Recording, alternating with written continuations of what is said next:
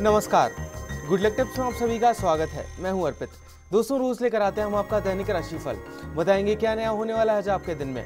आपका दिन अच्छा होगा, साथ ही क्या लाभ दिलाएगा? बताएँगे आपकी परेशानियों से बचने के कुछ आसान से टिप्स आपके अपने कार्यक्रम गुड लक टिप्स में।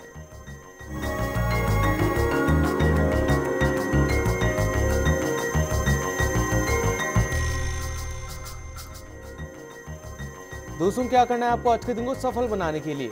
साथ ही क्या कहता है? आज का आपका राशिफल। बताने के लिए हमारे साथ हमारे स्टूडियो में मौजूद हैं जाने माने ज्योतिष आचार्य पंडित मुकेश शास्त्री जी। पंडित जी आपका बहुत बहुत स्वागत है हमारे स्टूडियो में। जय श्री कृष्णा जय माता की जय श्री वेरी गुड मॉर्निंग आप सभी दर्शक पंडित जी से जान सकते हैं आपकी परेशानियों और मुश्किलों से निकलने का हल। बस कुछ आसान से उपायों के साथ। बस आपको हमें कॉल करना है। हमारा नंबर लगातार आपकी टीवी स्क्रीन पर फ्लैश हो रहा है। कॉल करने के साथ बस आपको हमें अपना नाम जन्म की तारीख जन्म का समय और जन्म का स्थान बताना है। तो देर किस बात की? उठाइए अपना फ़ोन और कर दीजिए हमें कॉल। चलिए उससे पहले जान लेते हैं। आपके सितारों के हाल और आपकी तारों की चाल। गुड लक टिप कार्यक्रम के सभी दर्शकों के ऊपर भगवान श्री हरि का माँ लक्ष्मी का, माँ बगलामुखी का। आशीर्वाद और कृपा दृष्टि हमेशा बनी रहे आप सभी का कल्याण हो। आइए जानते हैं कि क्या कहती है आज के दिन किस्मत आपकी? कैसे रहेंगे आज आपके सितारे? आज के दिन को शुभ बनाने के लिए आपको क्या करना है, क्या नहीं करना है, इन सब पे चर्चा करेंगे। साथ ही साथ जानेंगे दुर्भाग्य लाने वाले कुछ गलत आदतों के बारे में। तो शुरुआत करते हैं आज के दैनिक राशिफल के साथ में। प्रथम जो राशि है वो है मेष राशि। मेष राशि वाले जो हमारे दर्शक हैं आज के दिन आपके भाग्य के सभी द्वार खुले हुए हैं। आप यही समझकर अपने प्रयास करें कि, कि भाग्य की जो प्रबलता है सपोर्ट ऑफ़ द लक जो है वो आज आपको मिलेगी और उसके मिलने से आपके सभी कार्यों में आज आपको इच्छित सफलता प्राप्त हो सकती है। आज के दिन की सफलता के लिए घर में प्रातः कपूर आरती अवश्य कीजिएगा।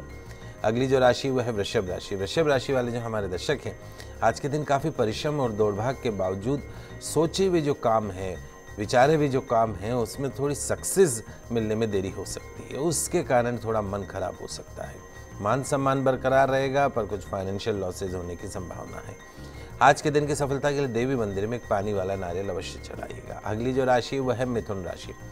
मिथुन राशि वाले जो हमारे दर्शक हैं, आज सुबह ही कुछ अच्छा समय आपके हाथ में होगा। आज आपको किसी न किसी बात की चिंता सताएगी। लेकिन आपके पास इंतज़ार करने का समय है, लिहाजा हड़बड़ी करने की कोई आवश्यकता नहीं है। आज के दिन की सफलता के लिए माँ तुलसी जी में जल का अर्ध प्रदान कीजिएगा, परिक्रमा करिएगा, निश्चित तौर पर दिन अच्छा गुजरेगा। पंडित जी आगे की राशियों की तरफ़ बढ़ने से पहले हमारे पास एक मेल आया था मनीषा जी का, झुंझुनू से। इनकी जन्म की तारीख है 22 एक उन्नीस सौ तिरानवे। उनके जन्म का समय है शाम का सात बजकर पंद्रह मिनट का। पंडित जी ये जानना चाहती थी कि इनका करियर किस तरह रहेगा, आगे आने वाले समय में उनकी शादी कब तक हो जाएगी। देखिए बेटा मनीषा आपकी जन्म कुंडली के अंदर कुछ समस्याएँ हैं। समस्या ये है कि आपका जो सप्तम भाव है विवाह का घर है, वहाँ पे चार ग्रह एक साथ बैठे हैं, सूर्य, बुध, शनि और चंद्रमा।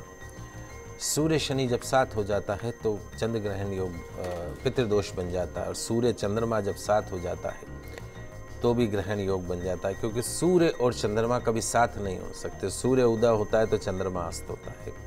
तो जो ये युति है, ये इंडिकेट करती है कि आपकी मैरिज लाइफ जो है, वो बहुत ज़्यादा सक्सेस नहीं है। इसलिए जब भी आपका विवाह हो तो पूर्ण रूप से कुंडली मिलान करके विवाह करना अति आवश्यक है। ग्रहों को देख के विवाह करना अति आवश्यक है। राहु की 18 साल की महादशा आपको चल रही है। गोमेद रत्न मध्यमा उंगली में सवा सात रत्ती का चांदी में रविवार के दिन धारण कर लीजिए। नियमित रूप से केले और तुलसी के पौधे की कम से कम 11-21 परिक्रमा कीजिए।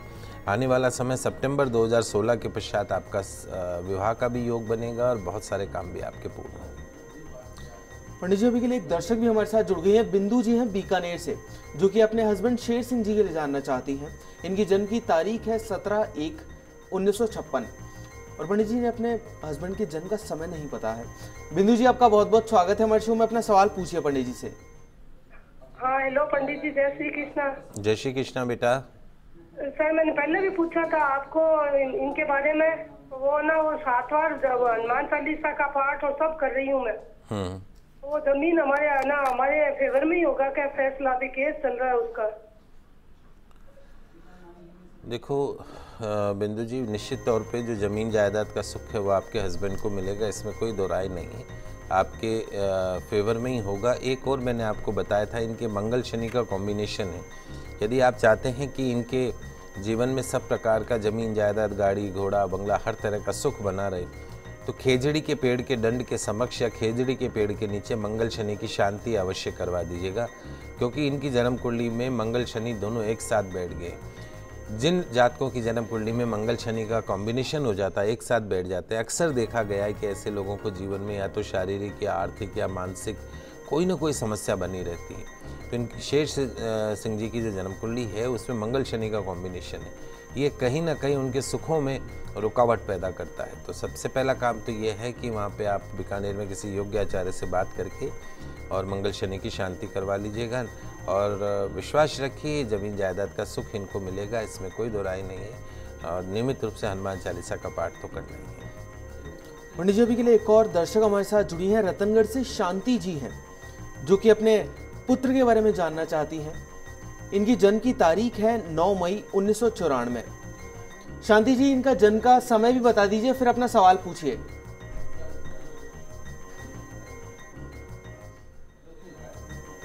पंडित जी इनका जन्म का समय है सुबह का सवा चार बजे का। शांति जी अपना सवाल पूछिए। हेलो पंडित जी नमस्कार।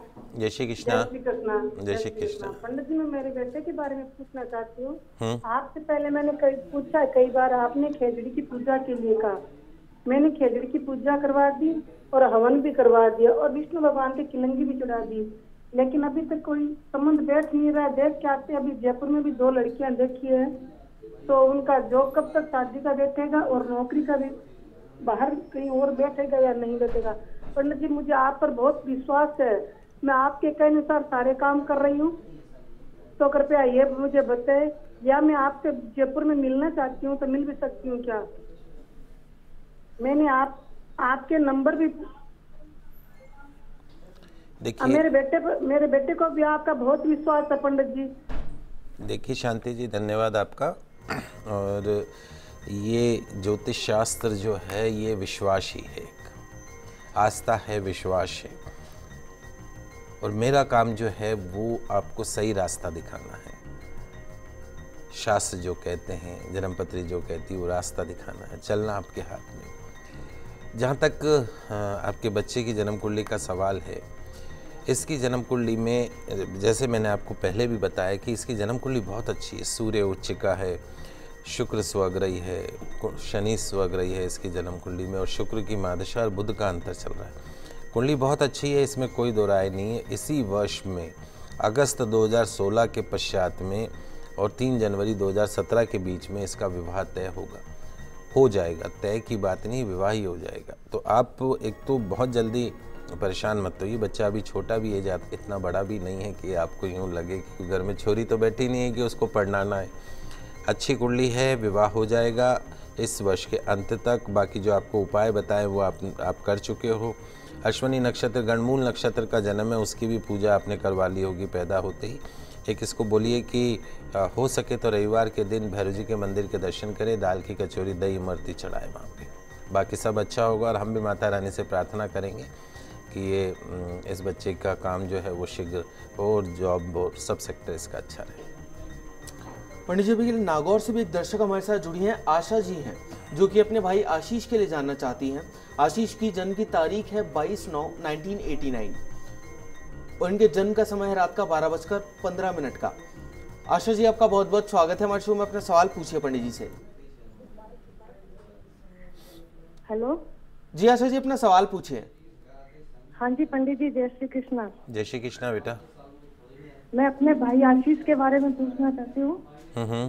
कि गवर्नमेंट जॉब कब तक लगेगी? वो तैयारी कर रहा है जॉब के लिए काफ़ी टाइम से। देखो बेटा, इस आपके ब्रदर की जन्म कुंडली बहुत अच्छी है। गज केसरी योग बना है चंद्रगुरु का कॉम्बिनेशन है। ये इंडिकेट करता है कि ये बच्चा हायर पोस्ट पे जा सकता है R S officer I S officer बन सकता है कलेक्टर बन सकता है। सूर्य बुद्ध बुद्ध आदित्य योग इस बच्चे की जन्म कुंडली में ये भी इंडिकेट करता है कि बुद्ध आदित्य योग होने के कारण इस बच्चे के जीवन में संपूर्ण प्रकार के सुख रहेंगे। गाड़ी, घोड़ा, बंगला सब कुछ रहेगा। शिक्षा के क्षेत्र में शुक्र स्वग्रह ये इंडिकेट करता है कि हायर एजुकेशन की तरफ़ ये बच्चा जाएगा। लेकिन इसके साथ समस्या क्या है? इसके भाग्य स्थान में राहु बैठ गया। राहु जो है वो सर पे, सांप कभी भी सीधा नहीं चलता है। उसी तरीके से इसका जो लक फैक्टर है, वो कई बार सपोर्ट नहीं करेगा। तो यदि आप चाहते हैं कि इस बच्चे का लक फैक्टर सपोर्ट करे तो एक गोमेद रत्न आता है।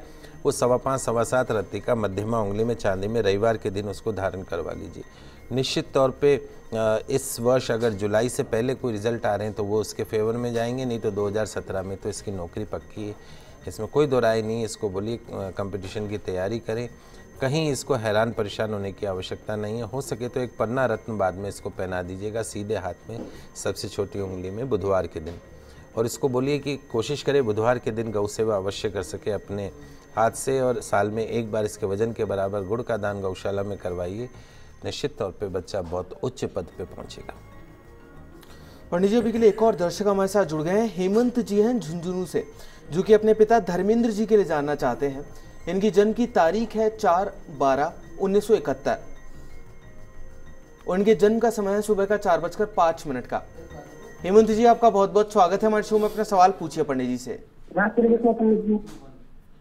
जय श्री कृष्णा। मैं पिताजी दो तीन झूठे मुकदमे भी और काम भी नहीं चल रहा उनका देखो, ऐसा है बेटा, आपके पिताजी का जो एक समय चल रहा है, शनि की मादशा राहु का अंतर। शनि की मादशा राहु का अंतर का काम यही है कि हर काम के अंदर रुकावट लेके आना। ज़मीन जायदाद से संबंधित परेशानियाँ पैदा करवाना, हर काम में रुकावट लेके आना। ये जो पीरियड है, इनका अभी दो साल और चलेगा। अक्टूबर 2018 में ये पीरियड ख़त्म होगा। तो थोड़ा सा समय जो है वो आपके पिता के फेवर का नहीं है। करना क्या है वो मैं आपको बता देता हूँ। चूँकि राहु का काम है अर्चने डालना, पास में रविवार के दिन कोई राहु का, कोई भैरव जी का मंदिर हो तो अपने पिताजी को बोलिए कि वहाँ पर भैरव महाराज के दर्शन करें, भैरव चालीसा का पाठ अवश्य करें। उड़द की दाल के बने हुए पकवान जैसे दही बड़े आप ले लीजिएगा, उसमें नमक नहीं डालना है। हर बड़े के ऊपर एक एक लौंग लगा के और भैरव जी महाराज को चढ़ाए, ग्यारह, इक्कीस, जितनी आपकी श्रद्धा हुई, आपके पिताजी को बोलिएगा तो उनसे उनकी जो रुकावटें हैं, वो दूर होंगी। और तीसरा उनको बोलिएगा, चूँकि उनके लक हाउस का भाग्य स्थान का जो स्वामी है बुध वो वक्री है तो यदि वो चाहते हैं कि उनका भाग्य पूर्ण रूप से उनका साथ दें तो आज से ही नियम मान लें कि रोज़ उनको अपने हाथ से गौ सेवा करनी है। निश्चित तौर पे इन दो सरल उपाय से काफ़ी समस्याओं का समाधान मिल जाएगा आपको। चलिए दोस्तों भी आगे बढ़ते हैं और जानते हैं कि आज कुछ क्या कुछ खास है आज कर्क सिंह और कन्या राशि वाले जातकों के लिए।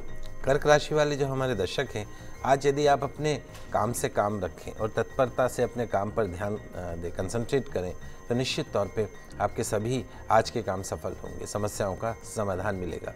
आज के दिन की सफलता के लिए किसी छोटी कन्या के चरण छूकर पाँव पाँव छूकर दिन की शुरुआत कीजिएगा। अगली जो राशि, वह है सिंह राशि। सिंह राशि वाले जो हमारे दर्शक हैं, आज हाथ में आए हुए अवसर को समझना होगा। पॉजिटिव अप्रोच रखनी होगी, सकारात्मक सोच रखनी होगी, काम करने का तरीका बदलना होगा। फिर देखिएगा, सब कुछ आज अच्छा रहेगा। आज के दिन की सफलता के लिए कौए को खीर, पनीर या नमकीन की गाठें, जो भी इच्छा अनुसार आप खिला सकते हैं। अगली जो राशि, वह है कन्या राशि। कन्या राशि वाले जो हमारे दर्शक हैं, आज के दिन सौभाग्य आपके द्वार पर खड़ा है। हर कार्य में आपको सफलता मिलेगी। निश्चित तौर पर कार्य साधक गतिविधियाँ होंगी और वित्तीय लाभ भी होगा। आज के दिन की सफलता के लिए गौ माता को पालक अवश्य खिलाइएगा, दिन अच्छा गुजरेगा। चलिए दोस्तों, यहाँ पर वक्त तो चला एक छोटे से ब्रेक का, लेकिन आप कहीं मत जाइएगा। जल्द वापस लौटते हैं गुड लक टिप्स में।